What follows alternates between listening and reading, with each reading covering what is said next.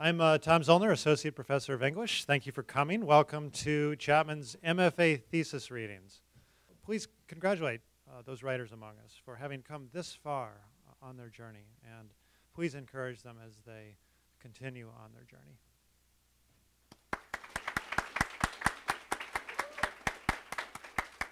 I'm Katie Iannarino. I helped put together this event. I'm so excited that there's so many people here. I feel so honored to just be reading with all of you who I've been in workshop with for the past two years. So, so without further ado, let's welcome our first reader, Ariel Zitney.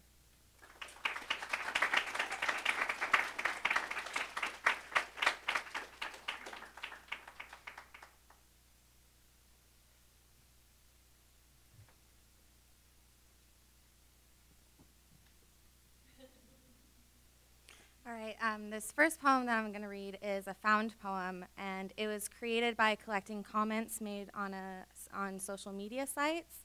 Uh, each stanza is a different quote made from a different commenter. It's called Steubenville, a found poem. You got drunk at a party, and two guys take advantage of you. That's not rape. You're just a loose, drunk slut. Yeah, way to go. Now these two guys are lives are ruined. Her vag would have been fine. These guys that are in this rape case should be charged if guilty, but it's the girl's fault too. She is 16 and got drunk until she passed out. Those kids from Steubenville are completely innocent. Disgusting outcome. Remember, kids, if you're drunk and slutty at a party and embarrassed later, just say you got raped.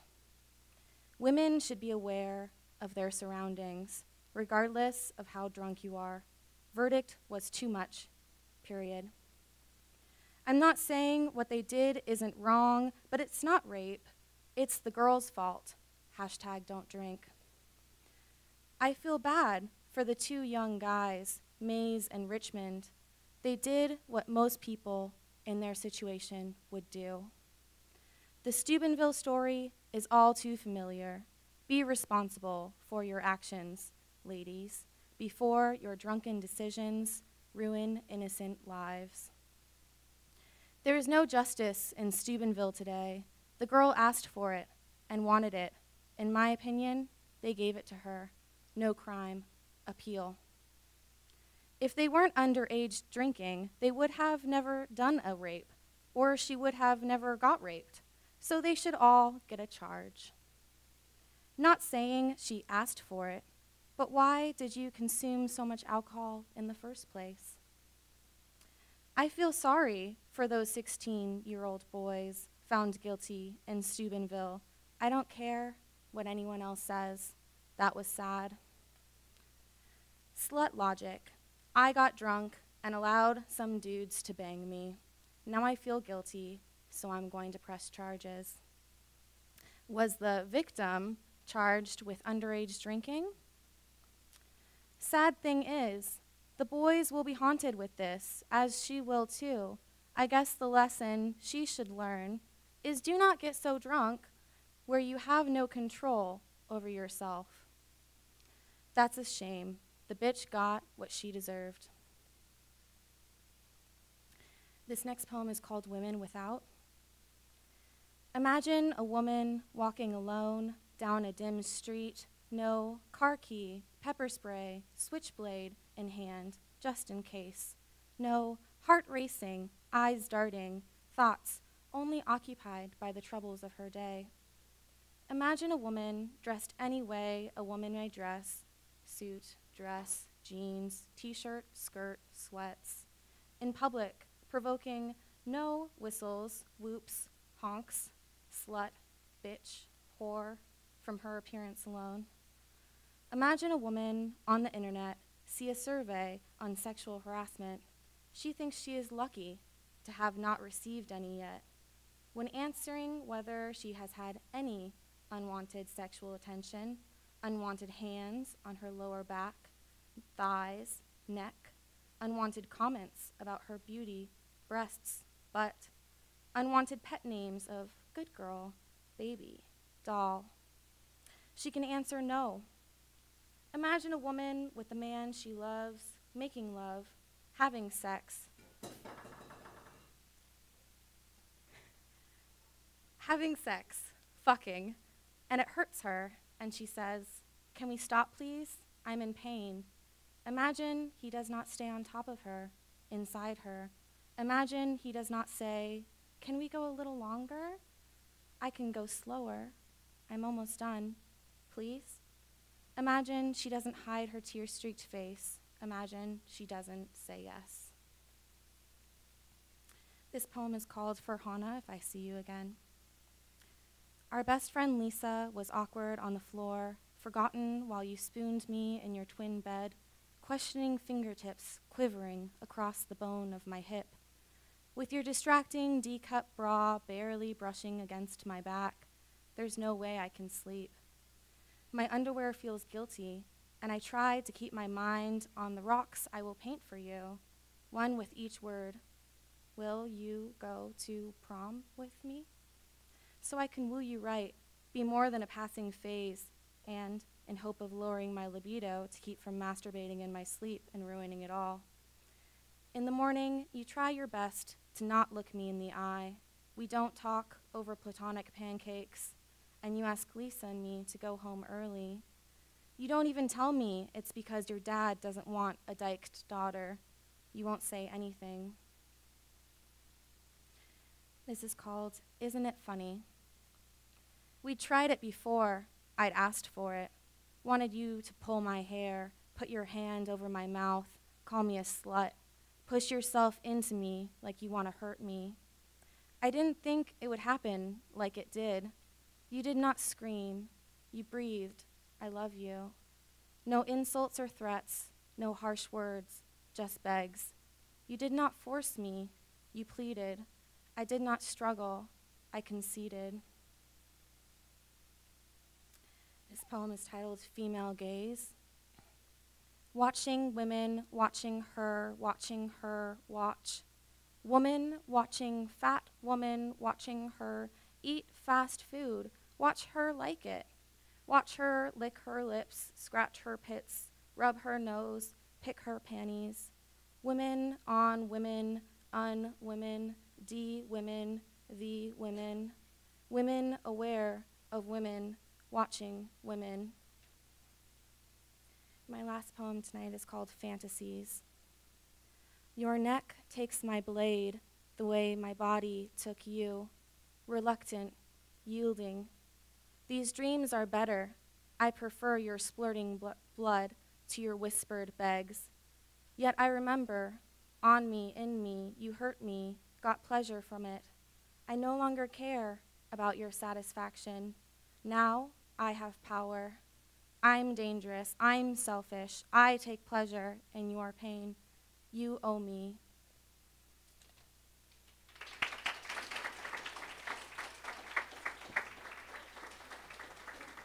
I'm sorry. The next poet that we'll be reading is the wonderful Layla Shikaki.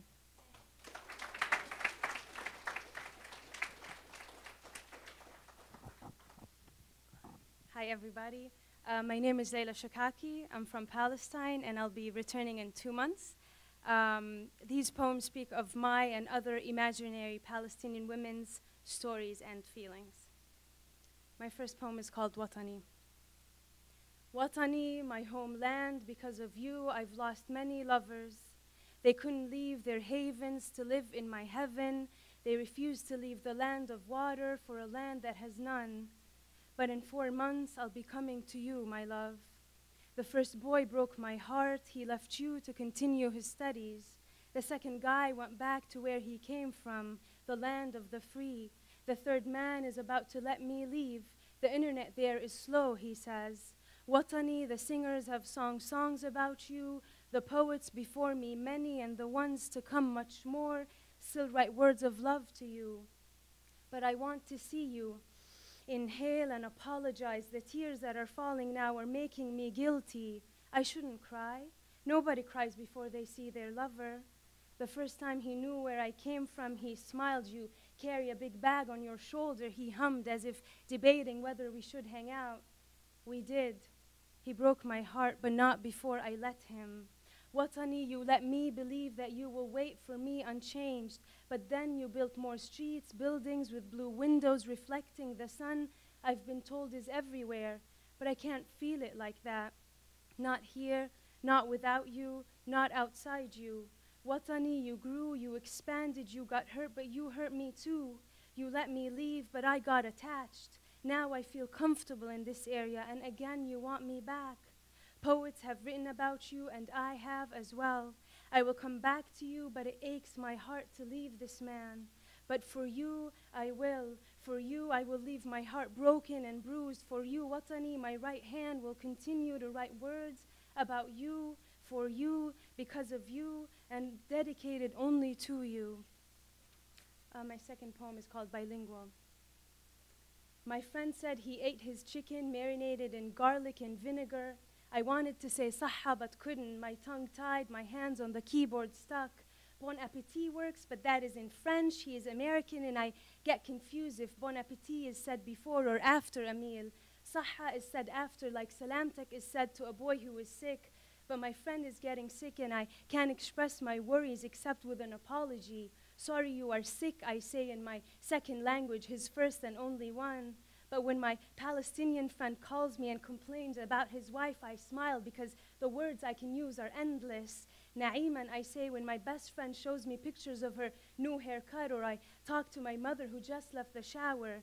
When Baba comes home, Mama says, Ya'tik al And when I see a worker at the office, I say the same thing. But in English, I'm tongue tied and I have to say good afternoon or have a good night. But I want to say Ya'tik al as in, may God give you more strength, as in, I appreciate what you're doing.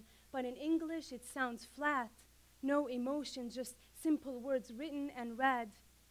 Yet when it comes to Arabic love words, I am silenced. Bahibbak is too much to handle. I like you sounds better to a friend than a potential lover. I miss you sounds less commitment filled than ishta'tillak. And poetry read in Arabic read heavier on my heart. And words written in English sound easier on my tongue. And that is what I tell myself day and night. You are bilingual. Things are meant to get confused, and you are meant to sometimes choose a language that suits a situation best.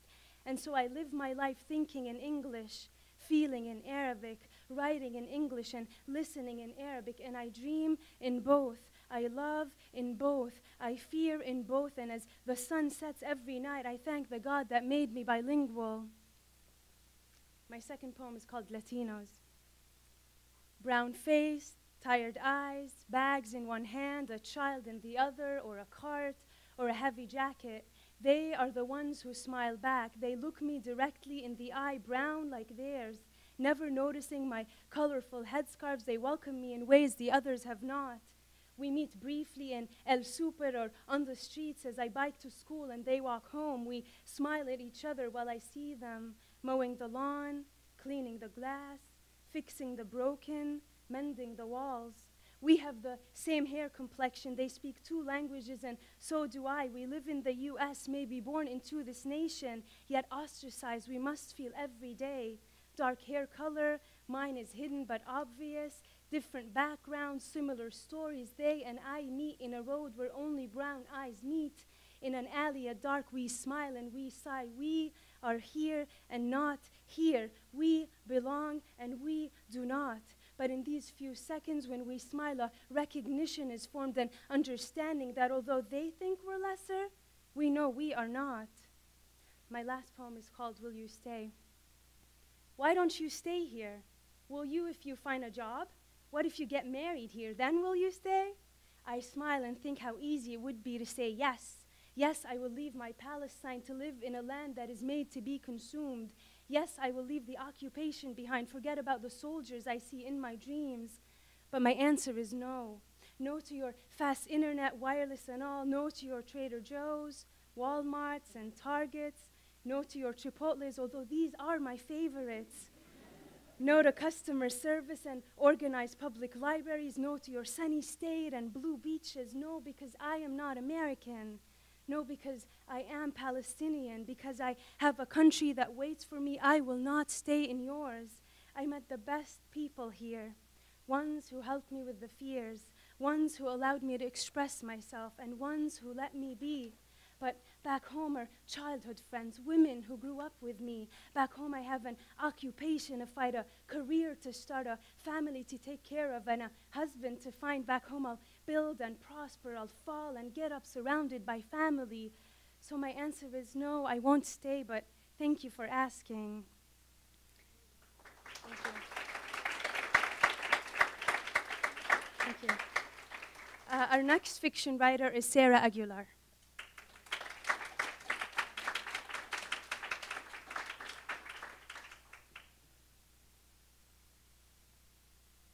Hello. Can you hear me okay? So this is a uh, brief excerpt from a longer work in progress that I kind of like to call a poetic science fiction. And it takes place uh, right after uh, the main character has sustained a very traumatic um, accident. Offer me my elixir of disorder. I thirst, I yearn, I crave. Let me drink, drink deep, let it burn, burn through me, in me, with me, for me. Let it drown me, swell my veins. I thirst, I yearn, I crave. Draw the line, cut it fine, no jagged edges. I am submerged. I drink, I burn away. Far, far away from me, from you, the curve of the world falls away. Away as I drink deep, the liquid fills, crushes, tears away. It devours, destroys, and leaves the ruins, the rubble, crying, weeping, wanting more. They cannot reach me here, within the elixir of my disorder. So let me leap, let me fall, let me drink, descend into me, burn through me, in me, with me, for me. I thirst, I yearn, I crave, be my elixir. Fire, liquid, white hot, coursing, pulsing, pushing through her veins, swelling the thin walls of human fibers without tearing, without searing, charring through. It burns, burned deeply, purely, utterly, and completely burned, burned and yet preserved her without ash, without smoke. Fire. Fire ends. Time slowed, stilled, lethargic behind the shadow of her eyelids. She knew her lips let out screams, could feel the vibrations of the noise as it tore from her throat, and yet the sound never reached her ears, never registered, not above or beyond the tongues of flames that filled her. Suspended in the veracity of heat, she could not feel the edges of her body. Fire, fire, burning bright. Slowly an outline formed as the pain became even toned, even tempered enough to let her feel her spine. Against each vertebrae, she could discern a cool presence, the metal of a floor beneath her. Timidly, memory approached, still held at bay, but enough, just enough, to galvanize her to search for her arms, to feel for her fingertips, stretch them out, stretch them wide, seeking a widening sphere of the floor. Grooves and patterns rose, pressed against her inflamed flesh as memory crept closer. Her fingertips traced the markings, though pain kept any echoes of understanding away. How she burned, each organ, every membrane, every cell outlined and bathed in the glow of what flowed within her now.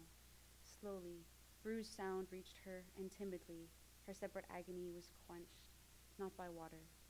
It was a voice, his voice. Annabel. The flames within her veins banked, ebbed, but did not go out. Earth child. Dimmer now, fading, simmering, never extinguished as her focus was pulled away from the heat that licked at her insides. A fish out of water, she gasped as a rush of air filled her lungs, clawed its way in, feeding more oxygen to the flames, fueling her fire. Her eyes flew open, and for a moment, just a moment, a ceiling of gray curved over her, latent with forged seams and sealed edges. As she focused, as her vision became clear, scent returned to her enough to tell her the air hung heavy, laced with oil, with metal, with ash, with destruction. Ash and urn and silence. A growl quaked the air in a distant show of aggression.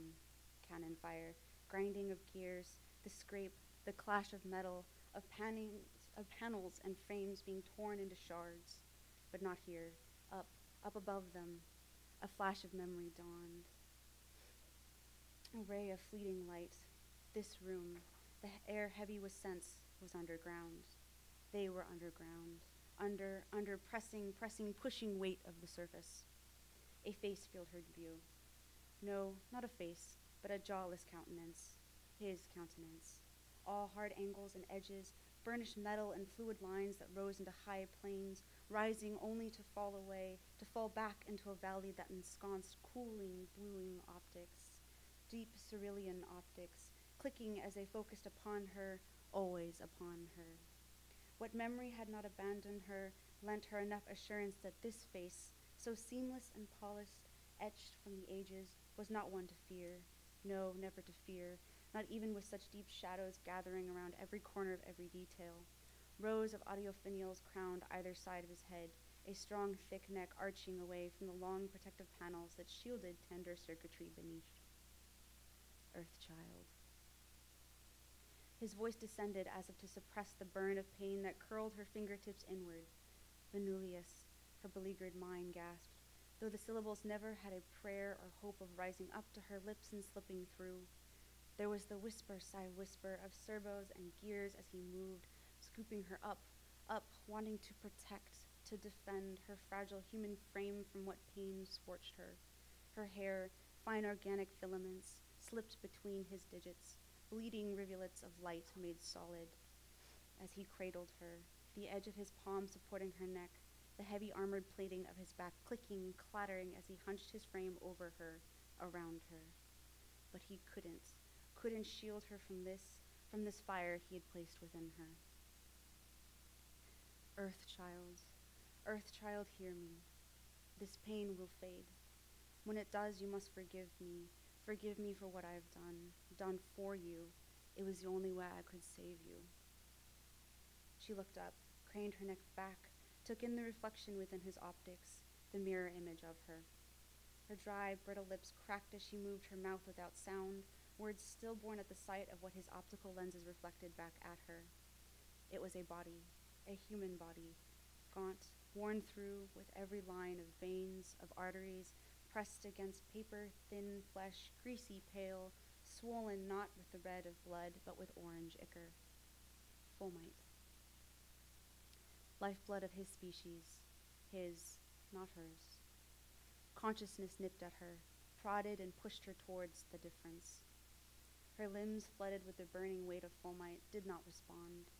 Instead, they were malingered, dangling from their own accord. Her chest was leaden as it remembered the necessity of breathing, of a heartbeat. Idly words, fragments of a conversation drifted over to her from beyond the tides of shock. Successful transfusion. Earth, child. Only choice we had. Aridness would have killed you, would have killed her. Please forgive. Must rest not out of danger yet. Forgive me. Please, my Typhon, it is not safe here. Cannot stay. Must retreat. My earth child, what have I done? A xylophone of sound, ushered in with eager chirps and clicks, and ranging with the deep basso of doubt, though it all was the constant, the backbone of a velveteen voice, a soothing, authoritative rumble, his voice. Each stood out to her, each a brilliant, unique pitch, each strung together an uncommon melody. Oh, if only she could recognize the weft and weave of it, could pick it apart enough, just enough to recall names, faces. Mentally she reached, she yearned for those memories, but in the wake of the slow burn within her, all was gray ghosts and ash. Only soft places, empty places, where memory should be, should still dwell. All was gone, all lost to nothingness, all but one. Venulius. Her voice was rough, bit at the tender underbelly of the air, rasping and scratching. Venulius. Her first words. Mechanical digits clicked and clattered together, panels rasping and rubbing as the gathered mechanisms started at the sound that had been uttered by the organic creature in their midst. It speaks. She. The whip crack of a correction silenced the hulking form that lingered several paces away.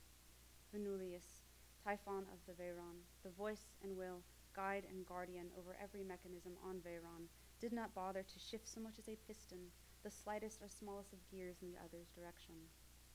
Trigger's loyalty was to him, to the office of the Typhon, and certainly not to the humans, not to Annabelle. My Typhon, it worked. She lived. Not even metal's enthusiasm could reach him, not beyond the echo of the peripheral algorithms of his processor. Earthchild.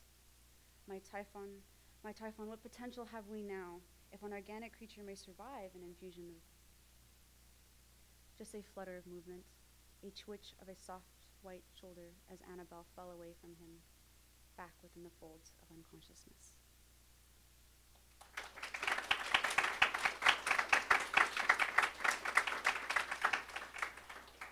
And next, we'll be hearing from the very talented poet Corin Porter.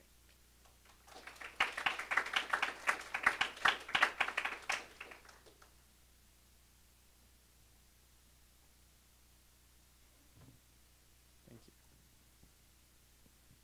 Everybody hear me okay? Cool. Um, my first my first poem is called I Know. I know.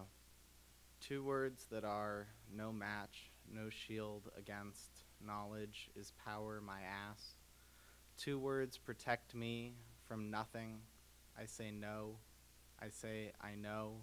But knowing changes nothing, can do nothing to alter, to reverse, to refuse, to undo. My second poem is titled For Grandma.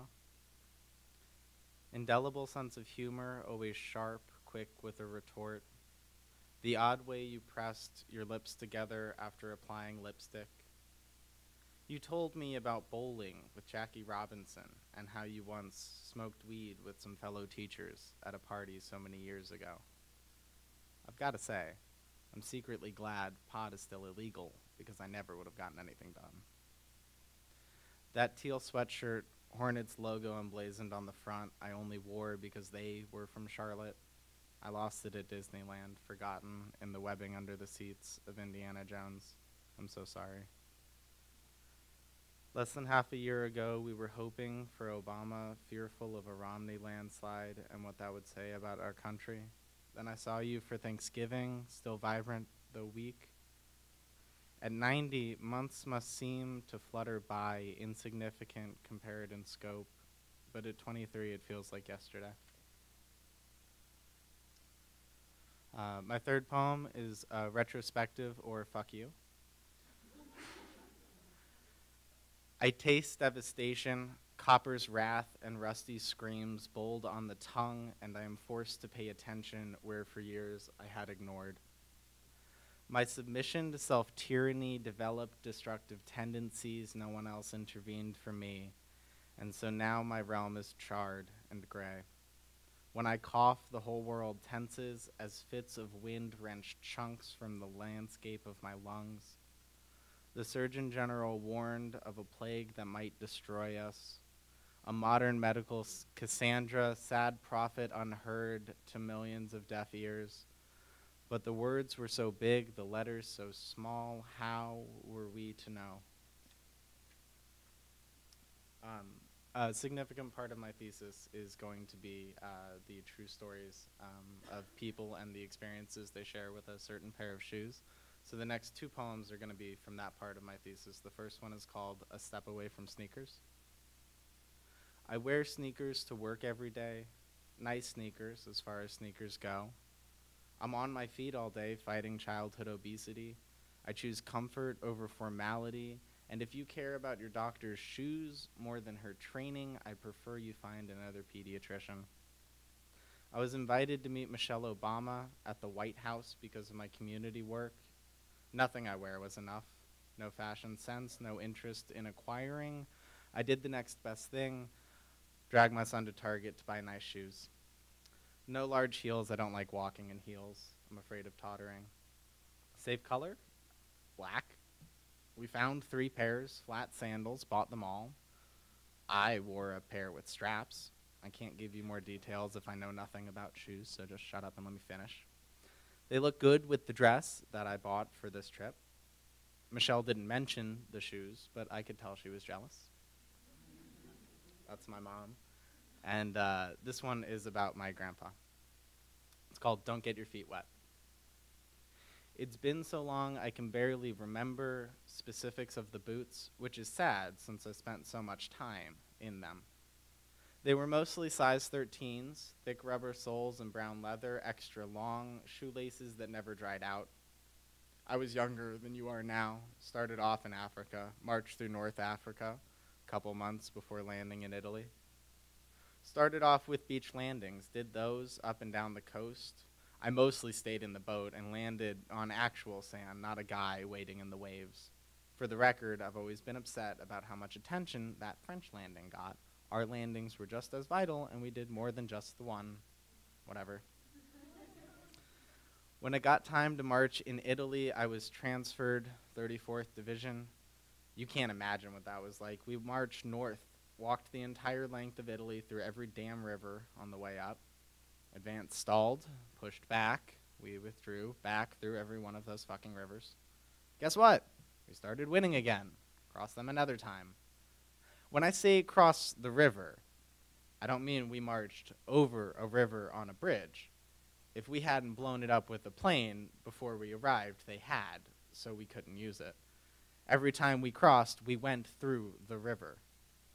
I was radio for the unit, meant I carried this enormous contraption. I still don't know how it works, really, on my back, heavy as hell through those rivers. Keep in mind, we were frontline, so we'd march for weeks with no quartermaster, no quartermaster, and no new boots. Only place with a quartermaster is a place already fortified, not our job. So we'd march, same wet boot for weeks, couldn't take them off until we returned from the front and exchanged them for new ones identical. But they tried to give me 12s a couple times. You ever march several hundred soggy miles in shoes too damn small? Don't. I did for a year and a half, and when we weren't jumping off of boats or wading through rivers, it was raining. I wrote to my mother every night. She sent a letter every day. Morty, I worry about you, came through in every letter. Not even the obvious stuff like getting shot at. It was, I hope they're feeding you enough, and less than eight hours of sleep is bad for a growing boy. How old was I? Didn't matter. Would never matter. We only got mail in the fortified places, so we'd swap wet boots out for dry boots and swap stories from home. Halfway through Italy, we got back to a real place, rested, exchanged soaked boots for those soon to be soaked. Everybody that got letters would read them to everyone else, share the news from back home. My mother, oh, my mother wrote to me about the dangers of getting your feet wet. Don't get your feet wet. Don't get your feet wet, Morty. It'll be uncomfortable. You might get fungus, and I don't know how well those army doctors are treating you. Every landing from then on, every crossing after that, someone would attempt my mother's New York accent, laden heavy with Jewish guilt. Don't get your feet wet. Our next meter will be Monica Long.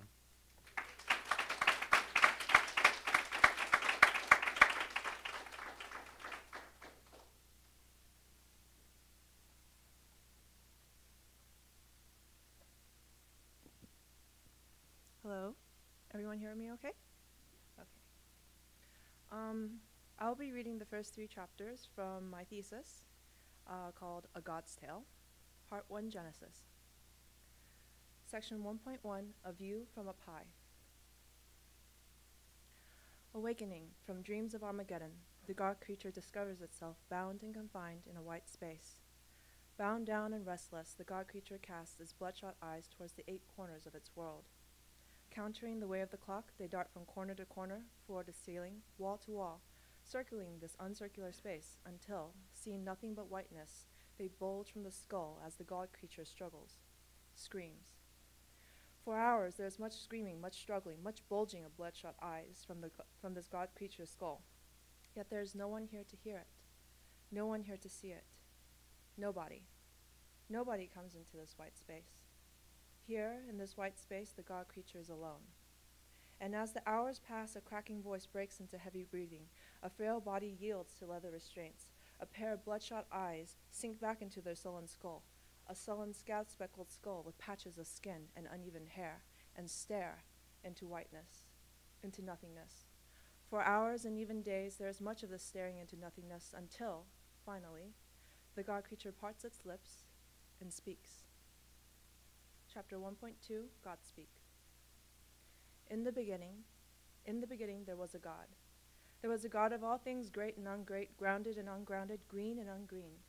There was a God of the somebodies and the nobodies, for the living, breathing bodies and the dead, empty bodies, and all the breathing, empty bodies in between. There was a God of everything and nothingness, a God for the sane and everything, and the insane and nothingness, and all the shades of sanity, and all the colors of madness. Yes, in the beginning, there was a God, but that God was not me. Now, here in this white space, I am God.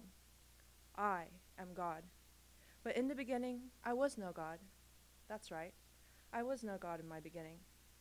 In my beginning, in my beginning, there was a father, a mother, a brother, a sister.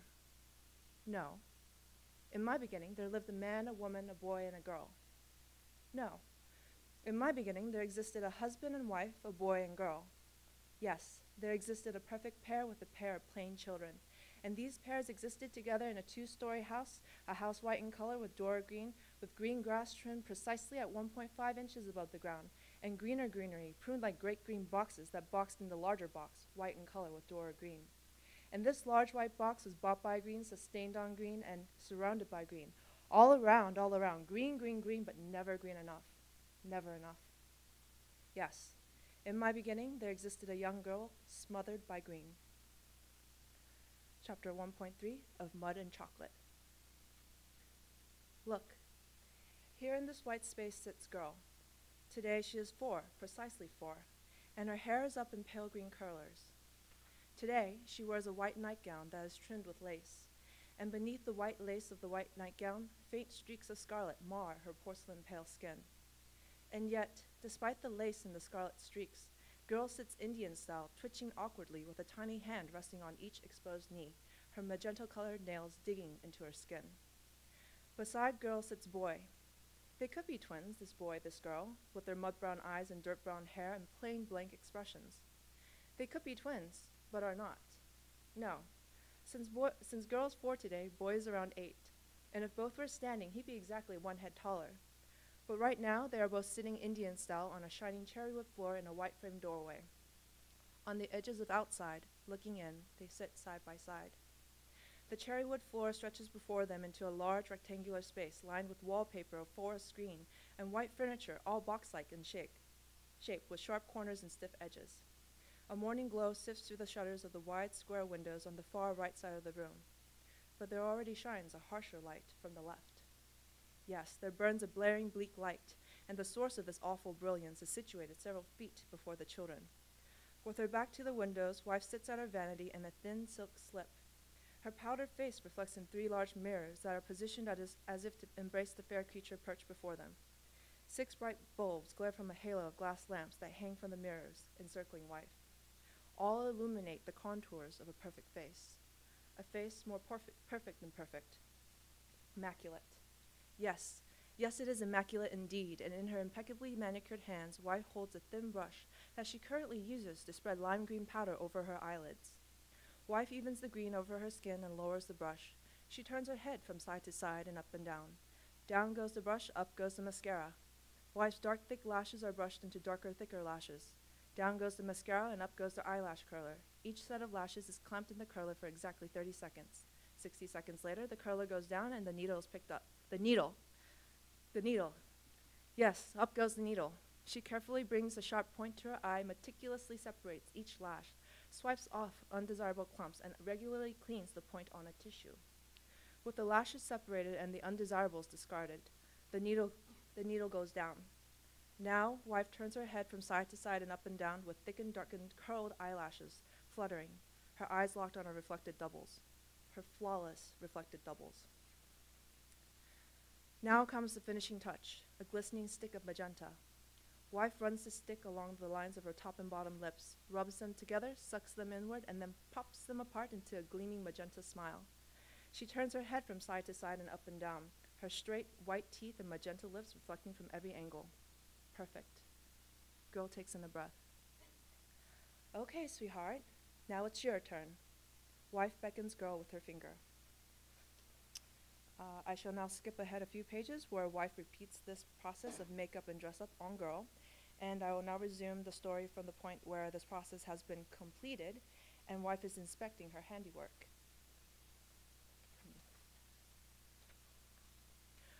Wife holds girl by the chin and shifts her face from side to side, up and down and back up again. They gaze at each other. Wife with her emerald green eyes and girl with eyes the color of dirt. Steadily, wife smile, wife's smile shrinks. If only your eyes weren't muddy brown. Releasing a sigh, wife lets go of girl and turns to face the mirrors once more. She then flicks a hand towards the doorway. All right, go off and play, and make sure not to mess up your pretty clothes and hair. Boy offers his hand, girl accepts. Hand in hand, the two follow the cherrywood floors out of the room and into a narrow green hallway. In this tight space, the two walk together for a time in silence. In silence, girl walks, her mud brown, her mud brown eyes wandering beyond the stretch of wood and green. It is only when they have gone beyond wife's range of hearing that girl comes to a sudden stop and tugs on boy's hand. Do I look pretty? Girl asks boy. Yes, boy replies. He gives girl's hand a squeeze. Her lips break into a gap-toothed magenta grin as she swings their clasped hands back and forth, back and forth. She laughs and tugs on boy's arm, leading him further down that narrow green hallway. Then, slowly, the green peels away and the cherrywood floor shattered beneath their feet, revealing nothing but white space. Dirt-colored eyes dart, ab- uh, dart about as the whiteness consumes the colors from all around.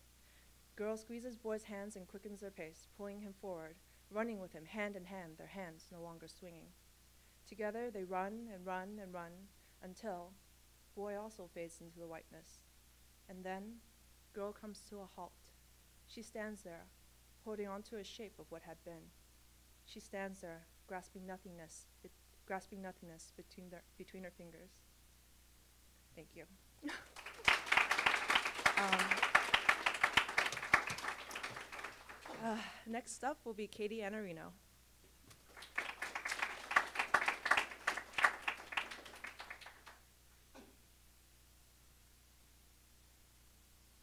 I'm gonna be way too far away from this thing. Can everyone hear me?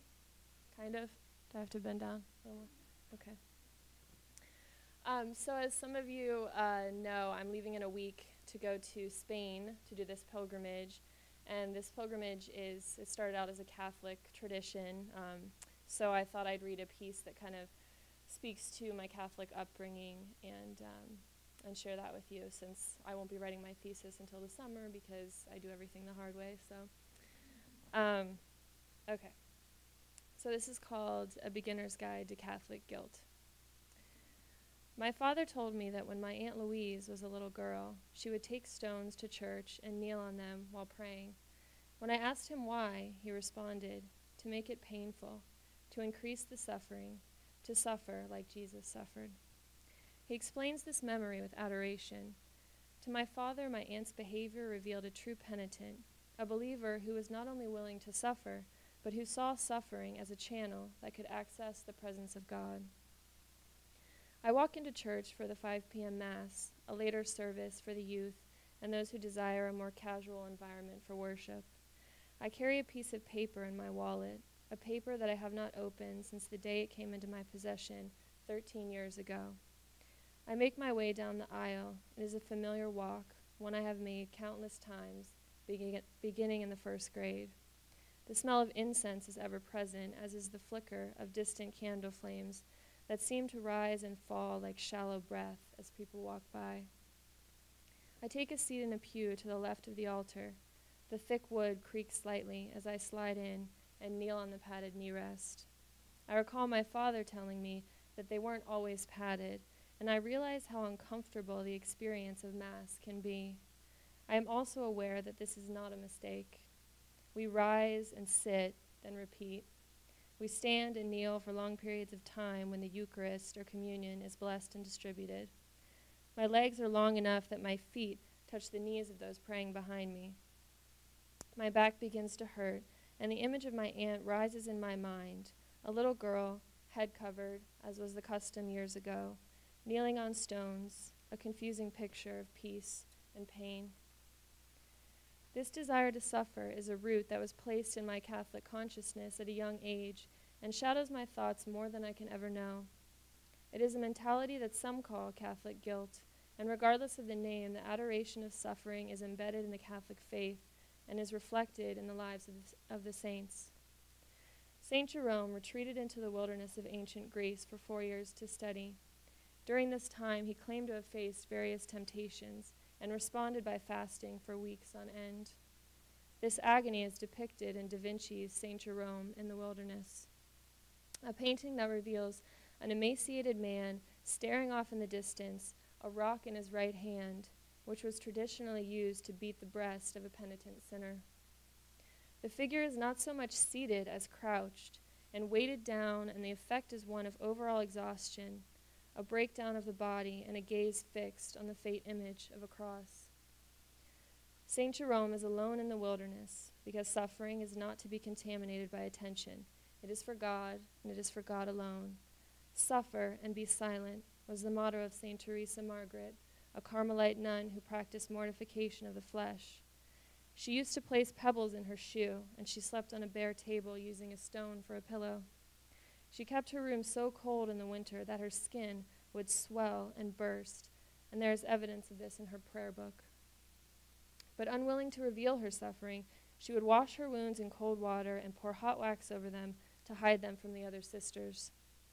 At the time of her death, the sisters said she looked as if she was merely sleeping, and a painting of the saint by Anna Piattoli captures no grimace, no open wound, no bleeding hands or feet, but reveals clear blue eyes set in a fair face, with delicate features, a narrow, sloping nose, and an overall softness that is most potent around the eyes. She was 23 when she died. We are taught to glorify silent suffering, to embrace the way the spirit groans under the flesh, like branches pulled downward by a thick skin of ice. But I think about this paper and the weight of carrying a burden that no one else has ever seen. And I stand and sing and notice that most people have a somewhat pained look on their faces. I see children squirm as the heavy incense burns their tender throats. In the back, a baby is crying because at Sunday Mass there is always a baby crying, refusing to be lulled to sleep. I sit in my pale wooden pew, uncomfortable, and gaze at the various images around me. It is already getting dark, and the bright yellow that usually blasts through the stained glass is now a fleeting trickle of orange. The image of Jesus on the cross is the image that is depicted on the wall behind the altar. This Jesus is made from dark brown wood. His loincloth is painted gold. And I stare at the representation, mesmerized by this hanging man. This piece of paper, the ink that documents my sin, lives at my side, and the thought of throwing it away causes such a reaction in my brain, it's akin to the short circuiting of a machine. Since birth, I have had a knack for losing everything, from socks and lunchboxes to tax returns and diamond earrings, Yet I have been able to keep this paper intact and at my side for 13 years. I am aware of its presence at all times. It has become a willingly prolonged suffering, emotional flagellation. This piece of paper is the heaviest thing that I own. A burden willingly carried like my aunt and her praying stones, a self inflicted pain meant to access grace or forgiveness. But when those notions go quiet, something far more terrifying emerges, and I am stuck between this fabrication and the agonizing possibility that this weight is not a way for me to be closer to God. Rather, it is a way I have pushed myself further from Him. I kneel in my pew, my legs cramped and knees sore. I recite the same prayers I have recited for over 20 years, and they spin out of my mouth in a rhythmic chant. I stare at statues and candles lit by hopeful souls and every Sunday I eat from this hanging man, and in doing these things, try to come closer to him, to love him, and to come close to some dim possibility of forgiveness. I stand in my pew and listen to the parting blessing Go in peace. The stained glass is quiet, as is the crying child. And I think about this folded memory. The edges, somewhat yellow, have been softened by time, and the words feel like waiting razors. I stay seated for a few minutes as families clear out of the church. Their words buzz around me, creating a steady hum. I sit in this pew, unwilling to part with my suffering, and I think of St. Jerome and the rock in his ready hand. The landscape in Da Vinci's painting of the saint is stark, and little but rock and loose brown dirt surround the man. The figure is almost grotesque. His eyes are sunken, and his skin pulls tightly over his muscles, the same way that a rawhide is tightly pulled over a drum. His bones jut out much like the stone slabs that stand behind him. And it feels like there is a madness in this man that is so thick that it makes it hard to breathe. Yet there are faint whispers of color in the upper left portion of the canvas. Over the saint's shoulder, a small opening of sky emerges. The subtle strokes of green and blue seem to be the gasping breath of a drowning man. So that's it for me. Okay, so we are going to start with our second round of creative writers. And first up, reading po- his poetry, is Ryan Martinez. So give him a hand.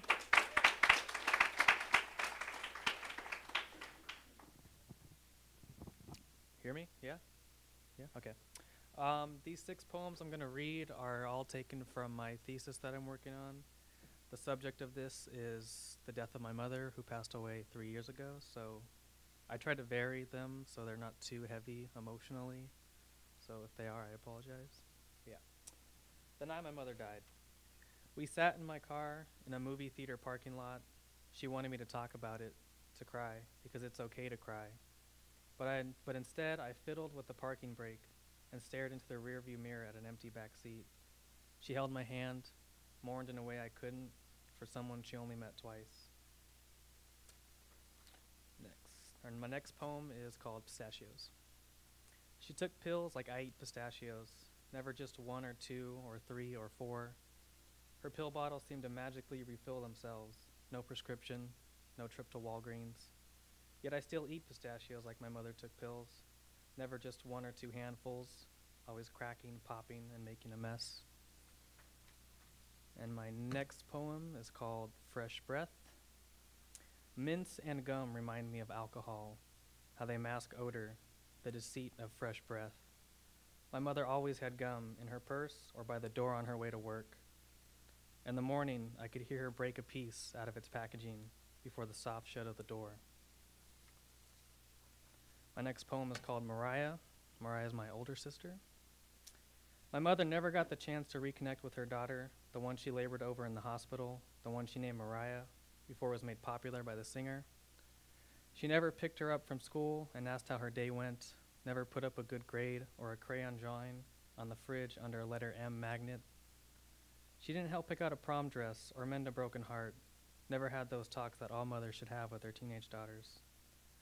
She never saw Mariah earn her business degree and land a job at a popular internet company, never celebrated birthdays, but never failed to send a card, never knowing if Mariah ever received them. My next work, or my next poem, is called Poet's Work, taken from two poems that I read recently, all both titled Poet's Work. So, Poet's Work. To understand what can't be, or what shouldn't be, or what has yet to be, or what has been and no longer is. To understand alcoholism, and how my mother drank brandy while I was away, and how she forgetfully hid them under her bed. To understand addiction, and how my mother took Vicodin like a child would mindlessly eat marshmallows, unaware how soon the bag would empty.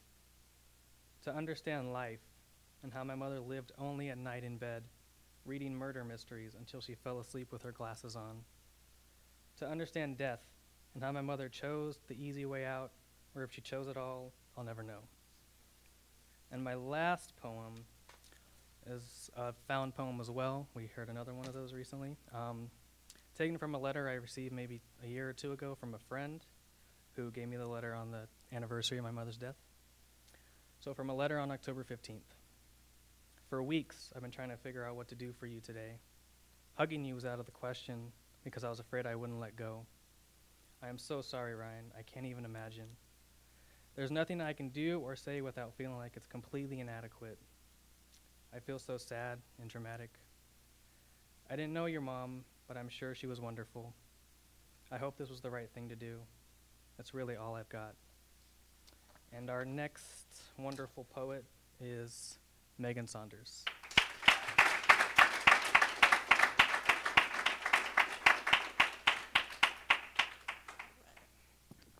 This is kind of close. Okay. I paid him to say wonderful, so. Um, so my thesis is based kind of on communication, how we communicate with each other in an increasingly smaller world. And I figured the best way to start talking about communication would be to talk about story, since that's kind of why we're here tonight. So, my first poem is called Through Story I Was First Undone.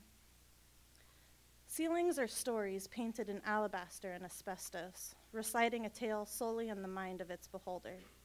As a child, I'd stare at the pockmarks and imagine worlds set against the backdrop of an expiring moon.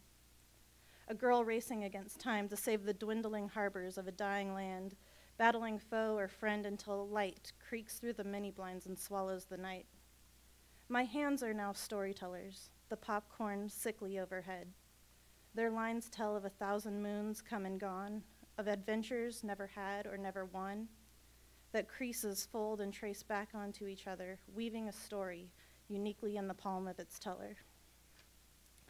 Keeping with the story theme, I decided to write some poems about fairy tales after taking a fairy tale class recently.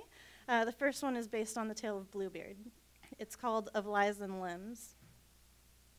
My memories come in spades and shades of indigo and ivory, of laces and silk and crimson flowers dripping at the vine. Don't talk to me of unbarred corridors or doors with no latches.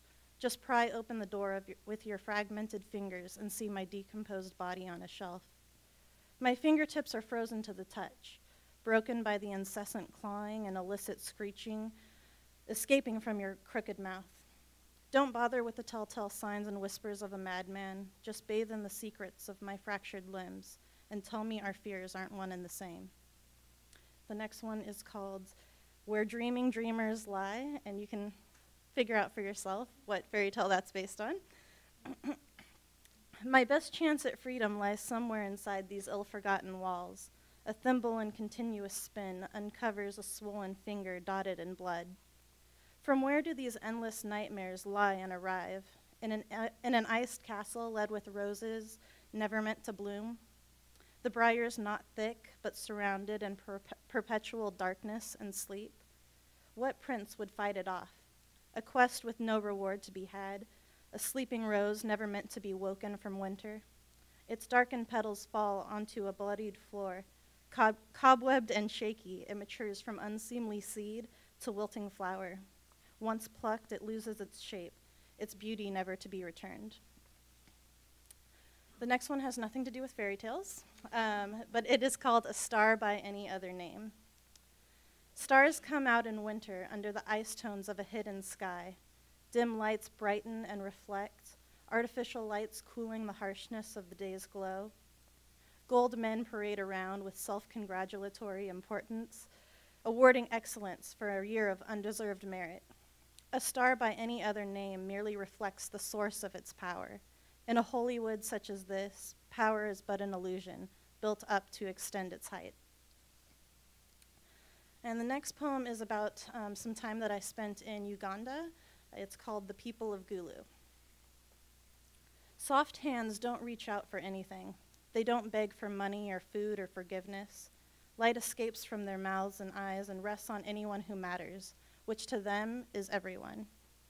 Their light is no mere reflection of a moon with its back turned. It lies deeper in the skin until their souls radiate out of their fingertips and tongues, saying, You didn't come here to save us. A few moments in that expanse of greener than green earth and bluer than blue sky, you know their unspoken words to be true. That the light you thought you brought is but a mere flicker compared to their ever growing flame. Um, the next two poems, um, I've been experimenting with pro- prose poetry, so these are my attempts with that. Uh, the first one is called Cancer Comes in Cylinders. Your breath is toxic, but I love the way it wraps around my organs like a snug winter coat, sucking in the fat until my skin sways on the bone like a flag at half mast. And you say, just one more drag, so I purse the cylinder between my thinning lips and breathe in your putrid air, coming in, gra- in gasps, swells the cravings. I grasp for the ta- tank and mask my misery. The next one is called Existence is a Relative Term, or at least my perception of existence as it relates to an impeding scientific structure. Pardon my absolutisms and questions of whether the resistance of chaotic memory is merely an illusion or allusion to the slow descent of man.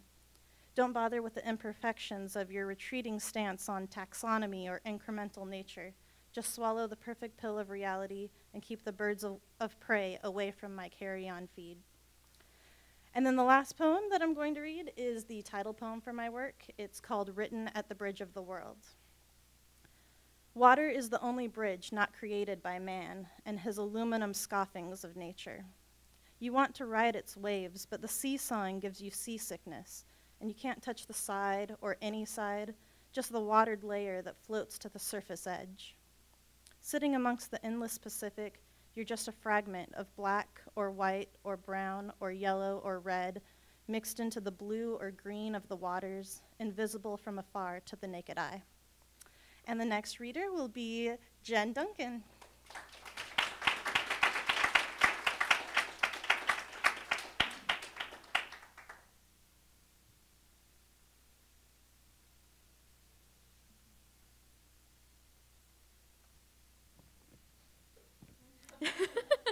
yes. Um, hello, everyone. Thank you guys all for being here. I will be reading a, or the beginning of my thesis, which is a young adult fantasy novel called The Hatching. The sun had just been extinguished by the sea as it finally sank completely beneath the horizon. The last of its rays stretched like fingers across the sky, bathing it in a soft pink glow with a small flare of orange and yellow where the sun had been a moment ago. Towards the east, the first few stars were starting to blink into the twilight, and the pale white orb of the moon was faintly visible. The girl had been sitting on the hard, salty stone of the balcony floor since the sun rose that morning as well, yet still she waited patiently and unmoving. From her position, she could see unimpeded the vast expanse of the ocean stretched out before her. The marble railing bordering the balcony was all but deteriorated. Most of the small and once ornately shaped columns that held the remnants of the railing had crumbled down off the treacherous edge of the cliff to disappear beneath the pounding waves below. The ocean threw itself against the cliff rhythmically, with a continuous crashing that echoed through the entire chamber behind her. The constant motion of the waves made her feel as if the castle itself had a heartbeat, and the thought was comforting, as she knew that there was not another person around for many miles. She filled her lungs with the salty sea air and exhaled slowly, trying to relax her stiff muscles, and focused her attention back to the object sitting a few feet away from her. She had surrounded the egg, which was roughly the size of an infant, with a crude nest of branches and shreds of fabric that had likely once been rich and elaborate tapestries and rugs that she had found about the abandoned castle. It sat perched in the middle of the nest, soaking up the last rays of the sun's warmth. She had only moved it at night to keep it safe since she had brought it to this place, as she had been instructed. The only visible change she had noted with the egg was the color. Originally, it had been a dull grayish white color, hard as stone, and would seem to most people just a large, smooth rock. But as she neared the castle and kept her vigil on the balcony, the color had gradually brightened. The egg had slowly turned to a pearlescent white, the gray tones seemed more like silver, and a faint light seemed to be emanating from it. With the sun setting and darkness beginning to settle around her, the glow of the egg became more apparent, mimicking that of the moon itself. With the gl- egg glowing so brightly, she dared not move from her spot now. She could sense that the time was near. She sat and waited patiently, her eyes not moving from the egg when she felt as though she were no longer alone. She heard some debris being shuffled around behind her, and she was certain there was someone else with her. She, she turned to see who it was and screamed. I jerked awake, escaping the hold of the dream, and looked around frantically, trying to assure myself that I was back in reality. I took in the worn leather bus seats surrounding me, the cold metal interior, and the other passengers who were doing their best to act like they didn't notice my spasm into wakefulness. I calmed myself down enough to not look like a total nutcase. The dream was more vivid than it had ever been before. I had been having that dream as long as I could remember. I didn't have it consistently or anything, just once every so often, but this time it had been different. Usually it felt like any other dream I had. I was in a weird place, things seemed surreal, but at the same time it was kind of cool. It always ended with me sitting in front of the egg, but this time the end of the dream felt more like a nightmare. I was sitting there in the dream like I always did, but then I felt someone behind me. You know that weird feeling you get when you can feel someone behind you, like their eyes are boring into your back? It was like that, except I felt that this person meant to harm me. At the end of the dream, I saw myself face whoever it was, and I could feel my dream self's terror at discovering who this person was, but I never actually saw them. The horror of this discovery was enough to thrust me into wakefulness, however. It was like falling off a cliff in a dream, or getting killed, where your body is forced into being awake, and you are still overcome with all the feelings that you had in the dream, and the adrenaline is real and coursing through you, except what happened wasn't. Your body is having a physiological response because it perceives the dream as real, but instead of your body being ready to flee from a real danger, you are just waking up, or in my case, awkwardly waking up in a public place. I rubbed the sleep from my eyes with sweatshirt covered hands and clutched my backpack to my chest while the rickety old bus shambled along down the bumpy road. I took a few deep breaths and began to feel better. I must just be stressed from all the travel, I thought. The plane ride had been long, nearly 15 hours from California to Dublin, and I knew I still had a ways to go. Despite being tired from my trip, I was still as excited as I had been at the beginning to be traveling to the site of the Discover Ireland High School Abroad program. Growing up, I was always excited by airports. It was like each flight gate was the portal to a new adventure. Even though I had only ever traveled across the US, I felt like the trips I took with my family were mini adventures as we crossed through those portals to be transported to somewhere new. But I always envied the international travelers. I always wanted to go on an adventure like that, to see another country, to experience something that I would remember my whole life, to have something to think back on while I was away at college, starting my life. Now I, 17 year old Elena, who had never been on a plane by herself, was traveling across the world to a tiny little island off the coast of Ireland to take part in a summer high school immersion program. I could barely contain my excitement, and I could feel a grin spread across my face at the thought of this new adventure. The rain was now pelting the old bus in what sounded like machine gun fire. It was coming down so hard that I could barely see the landscape out the window of the bus. What I could make out through the water streaked windows were immense fields of green that seemed to stretch endlessly before me until they disappeared into the gray gloom just out of my sight. Realizing that I probably wouldn't be able to see too much because of the weather, I pulled a green folder from my backpack with the label of the name of the program on it. I had already read through the contents of the folder more times than I cared to count, but I was so excited that I thought I would flip through it once more. I knew I was being slightly neurotic by reading it so many times, but feeling as prepared as possible would help calm the nervous energy that filled me. Besides, it was always good to be prepared. The folder contained a brochure for the program, some maps that I had printed out of, the, of, the, of Ireland and the route to the castle, a few important email correspondences, and various other documents that seemed important. I pulled out one of the printed emails from the folder to reread. The edges were crinkled and bent from so much handling. It was the one detailing my travel arrangements with the coordinator, Mr. O'Connor. He helped recruit students in America while his family ran the program at their castle in Ireland. Yes, that's right, castle. I couldn't believe I was going to be living in a castle all summer. The email read Dear Elena, we are so pleased to welcome you to the program in just a few short days. I have attached all your final flight and travel information. As discussed, once you fly into Dublin, you will take a bus to the marina where you will travel by boat to the island. There, my aunt and uncle will, will welcome you to Castle Bricht. Please review the details of these arrangements in the attachment I have provided. Happy travels. Best, Mr. O'Connor. Placing the email back in the folder, I found a couple maps that I had printed out of the route to, to the island. I used the GPS on my phone to find where I was in real time and looked at it in relation to my larger printed maps. An old woman sitting in the row across from me noticed me looking back and forth from the map and out the window. Good morning to ya. Do you know where you're going? She asked with a smile. Good morning, I said. Yes, I think I'm okay, but thanks. You're welcome. You're an American, eh? Is this your first time here? Wow, people were so friendly here. I explained to her that yes, it was my first time here in Ireland and that I was participating in a high school abroad program. We made polite small talk for a few more minutes until she asked, What part of Ireland might you be visiting? I'm staying with a family here. They're at Castle Bricht. I paused, making sure I pronounced it right. Her smile suddenly vanished, and it was like a shadow had fallen over her face. I could feel my own smile falter for a moment. I didn't understand what had happened. All right, dear. You'll just be careful now. They say strange things about that place. Things aren't right there, if you catch my meaning, she said. I didn't catch her meaning, but this conversation was getting a little creepy. I nodded my thanks to her and pulled from my backpack a paperback book that I had started reading on the plane. I could still feel her eyes on me, but if I read long enough, I hoped she would look away. I quickly immersed myself in the, the fantasy world of the book and forgot about our strange exchange.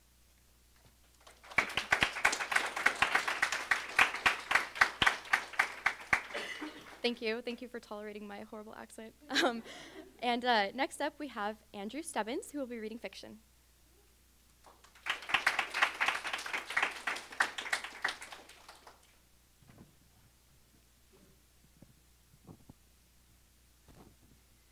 Hello, everyone. I'm going to be reading the beginning of a short story called Voluntary Holes. All the houses on the block have it holes on the second floor. You need one too. The bigger the hole, the more expensive it is, but it's the best decoration money can buy. I can see it right here, right through the wall. Most holes are large enough to fit a car through, but some on the block are even bigger. That's what I see working for you, stretching from the second floor down the entire length of the house. You have to start it at the second floor. That's what the trend dictates. No one knows who starting, started the trend, but admitting such a thing isn't trendy, you know. The call, you call this number. Don't object until you've heard me out. You call this number, and when they arrive with the laser, you and your neighbors will have to leave for the day. No one minds, however, because another, having another house with a hole increases the property value of the entire block. I understand. People have warned me about you, actually. You're the only family around here without one, and people tend to be chatty when it comes to things like that. Got a beautiful wife and kids, right? Yeah, me too.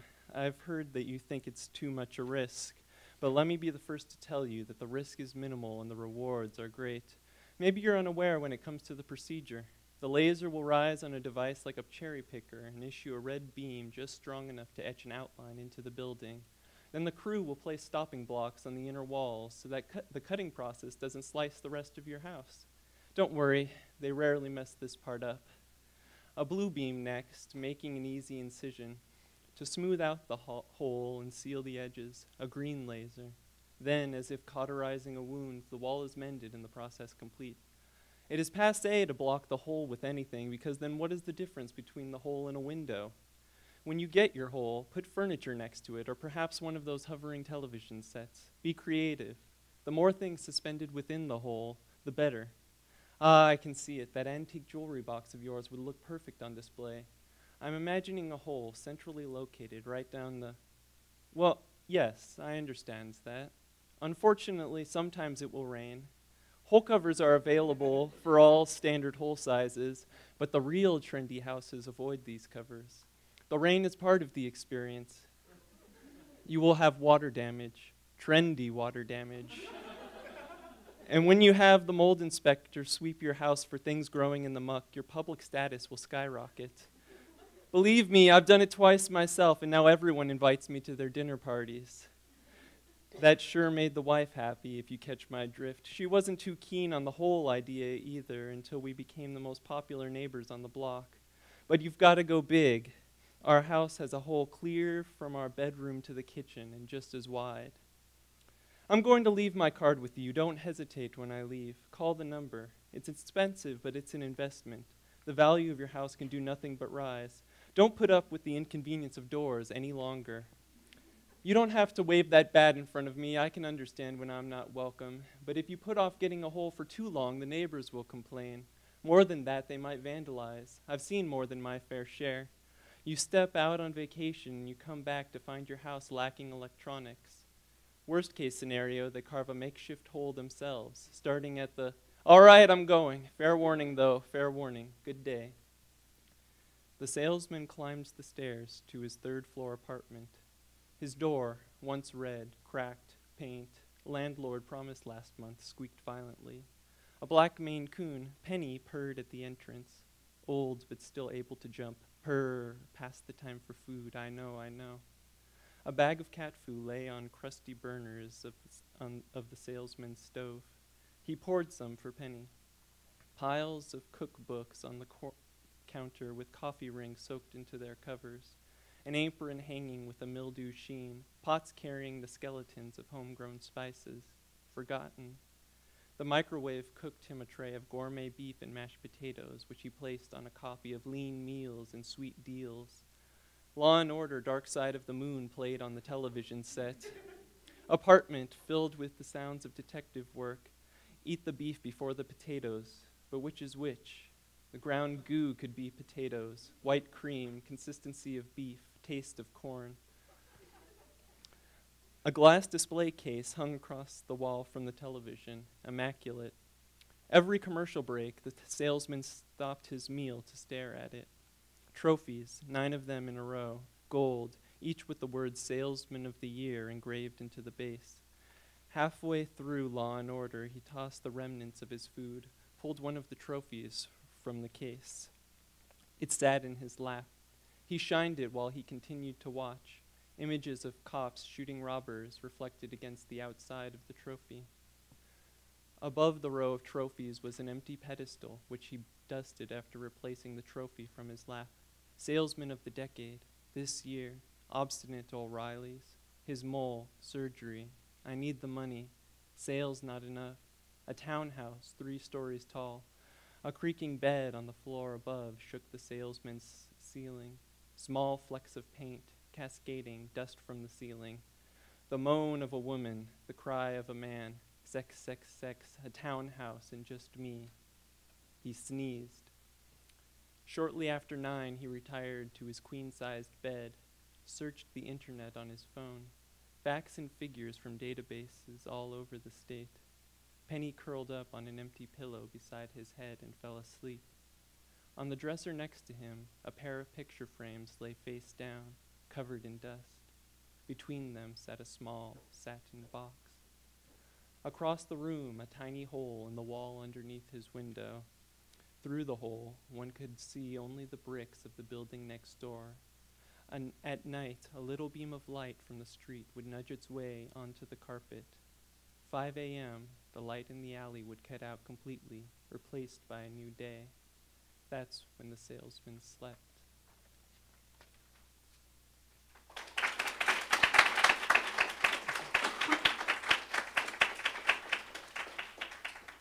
And now we're going to have uh, Katie uh, Anarino come for some closing comments.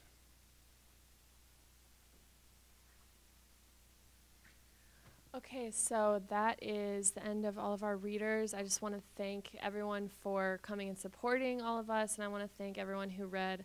I know it um, takes courage because we don't do it a lot around here. So everyone did beautifully, and, and I enjoyed it all so much. Um, so thank you so much for coming and everyone who helped out.